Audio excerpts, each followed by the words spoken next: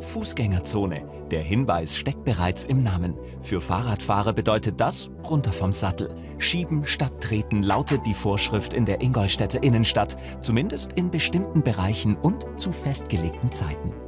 Ab 10.30 Uhr bis 20 Uhr äh, außerhalb dieser Zeiten, wo weniger Verkehr ist, weniger Fußgängerverkehr, ist das Radfahren erlaubt. Wir beginnen am Paradeplatz, durchgehend bis zur Theresienstraße, bis zum Ende. Und hier links runter bis zum Viktualienmarkt ist verkehrsberuhigter Bereich, Fußgängerzone.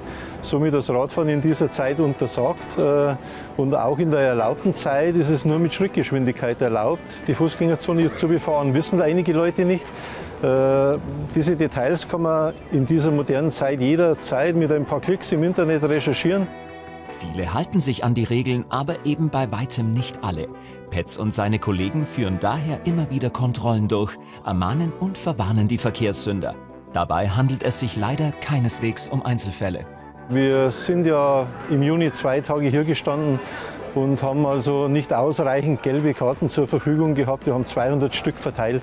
Ich glaube, ich hätte man in drei, vier Stunden verteilen können. Leider ist die Situation so und deswegen werden wir auch in Zukunft diese Kontrollen weiterführen, aber nicht mehr gebührenfrei, sondern gebührenpflichtig. Außerhalb der Fußgängerzone ist das Radfahren nahezu überall gestattet. Aber auch im übrigen Stadtgebiet gelten gewisse Regeln, die sicherstellen sollen, dass alle unbeschadet von A nach B kommen. Und auch hier gibt es immer wieder schwarze Schafe. Wir stehen hier an der Schillerbrücke und wir haben in letzter Zeit das Problem, dass sich Radfahrerinnen und Radfahrer nicht mehr an die Verkehrsvorschriften halten, insbesondere gegen das Rechtsfahrgebot verstoßen. Die StVO schreibt ja vor, dass man möglichst weit rechts zu fahren hat. Das bedeutet, dass die Radfahrer den rechten Radweg benutzen müssen, nicht frei wählen können.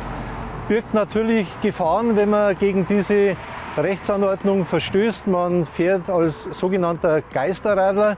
Hier an dieser Stelle sieht man es.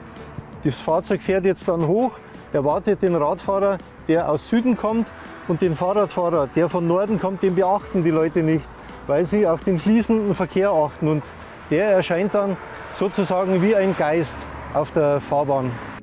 Wer wo fahren darf bzw. muss, ist genau geregelt.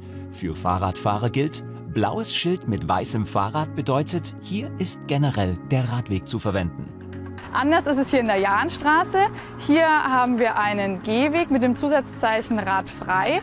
Das bedeutet, der Radverkehr soll hier eigentlich auf der Fahrbahn fahren. Die unsicheren Radfahrer dürfen aber auch auf dem Gehweg fahren, deswegen radfrei, müssen dort aber Schrittgeschwindigkeit fahren und auf den Fußgängerverkehr Acht geben. Warum ist es jetzt wichtig, das zu unterscheiden? Wir haben festgestellt, vor allem hier in der Jahnstraße gibt es immer wieder Probleme zwischen Radfahrern und Autofahrern, weil niemand so richtig weiß, was gilt denn jetzt hier eigentlich. Und wir auch mitbekommen haben, dass leider ähm, Radfahrer auch immer wieder ja, angemacht werden von Autofahrern, sie sollen doch bitte auf ihrem Radweg fahren. Nein, Gehweg Radfahrer frei bedeutet eben keine Benutzungspflicht und hier soll der Radverkehr auf der Fahrbahn fahren. Und dann haben wir da auch noch unsere Fahrradstraßen. Fahrradstraßen sind, wie der Name schon sagt, Straßen, die hauptsächlich für den Radverkehr vorgesehen sind. Und der Kfz-Verkehr ist eigentlich nur Gast und dementsprechend sollte er sich auch verhalten.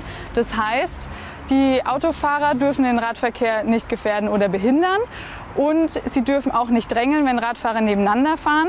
Und dieses Nebeneinanderfahren ist nämlich auch auf Fahrradstraßen ausdrücklich erlaubt. Der Kfz-Verkehr muss dann hinten dran bleiben und sich eben ja, wie ein Gast dort verhalten. Wer jetzt noch einmal nachlesen möchte, was, wo, wie geregelt ist, findet alle Informationen rund ums Fahrrad in Ingolstadt kompakt zusammengefasst auf der Homepage der Stadt unter dem Stichwort Radverkehr.